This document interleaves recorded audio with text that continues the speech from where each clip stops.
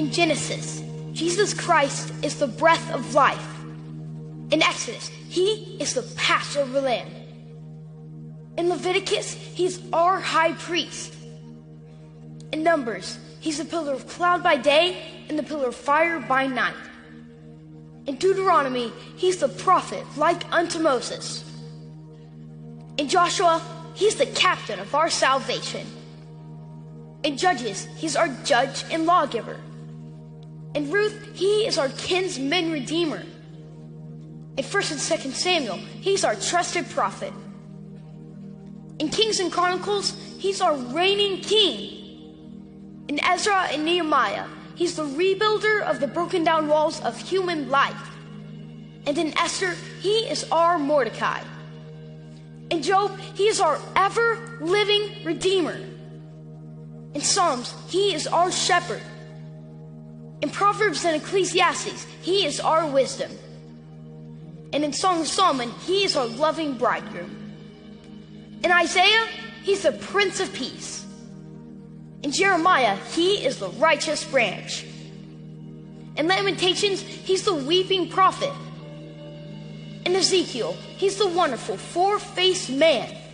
And in Daniel, he's the fourth man in life's fiery furnace. In Hosea, he's the faithful husband, forever married to the backslider. In Joel, he's the baptizer of the Holy Ghost and fire. In Amos, he is our burden bearer. In Obadiah, he is mighty to save. In Jonah, he's our great foreign missionary. In Micah, he's the messenger of beautiful feet. In Nahum, he's our strength and shield. In Habakkuk, he's God's evangelist crying, Revive thy works in the midst of the years. In Zephaniah, he is our Savior. In Haggai, he is the restorer of God's lost heritage. In Zechariah, he is the fountain opened up in the house of David for sin and uncleanliness. And in Malachi, he is the Sun of righteousness, rising with healing in his wings. In Matthew, Jesus Christ is the King of the Jews. In Mark, he's the servant. In Luke, he is the Son of Man, feeling what you feel. In John, he's the Son of God. In Acts, he's the Savior of the world. In Romans, he's the righteousness of God. In 1 Corinthians, he's the rock, the Father of Israel. In 2 Corinthians, he's the triumphal one, giving victory. In Galatians, he is your liberty. He set you free. In Ephesians, he is the head of the church.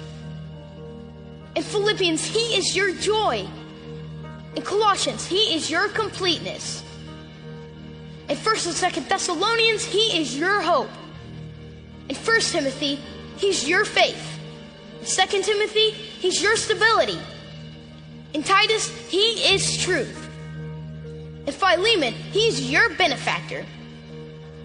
In Hebrews, he's the power, he's your perfection. In James, he's the power behind your faith.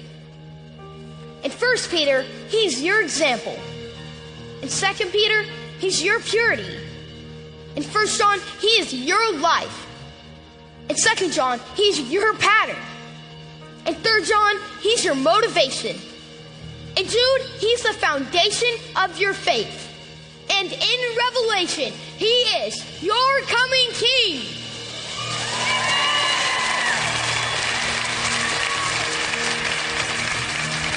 He's the first and the last, the beginning and the end.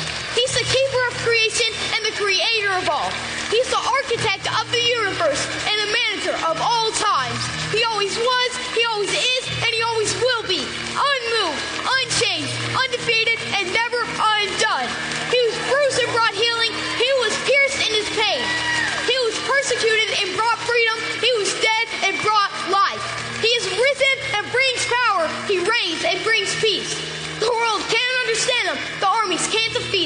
schools can't explain them and the leaders can't ignore them. Herod couldn't kill them, the Pharisees couldn't confuse them, the people couldn't hold them, Nero couldn't crush them, Hitler couldn't silence them, Thunelates can't replace him. He is alive, love, longevity, and more. He is goodness, kindness, gentleness, and God. He is holy, righteous, mighty, powerful, and pure. His ways are right, and his word is eternal. His will is unchanging He is my Savior. He is my guide.